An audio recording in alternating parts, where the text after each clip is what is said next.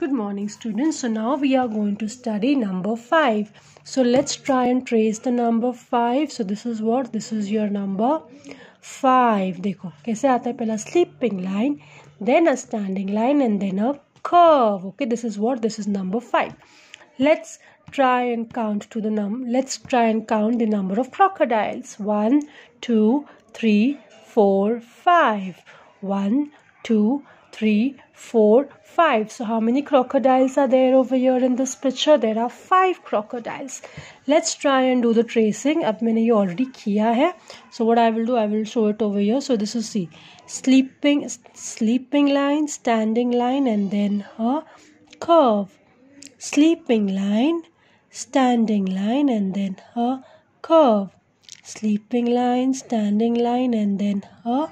this is number five sleeping line, standing line, and then a curve. Sleeping line, standing line, and then a curve. Sleeping line. My pencil is a bit okay. Let me use a normal pencil. Sleeping line, standing line, and then a curve. Sleeping line, standing line, and then a curve. Sleeping line, standing line, and then a curve. Sleeping standing curve is what? 5 sleeping standing then a curve.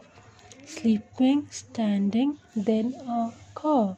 Sleeping standing and then a curve okay? So this is what? This is your number 5 this is your number 5 okay? This is what? This is your number 5 okay? So i want you to do number 5 on page number 41 and number 4 on page number 50 and complete this in the homework okay? And study them practice them. Thank you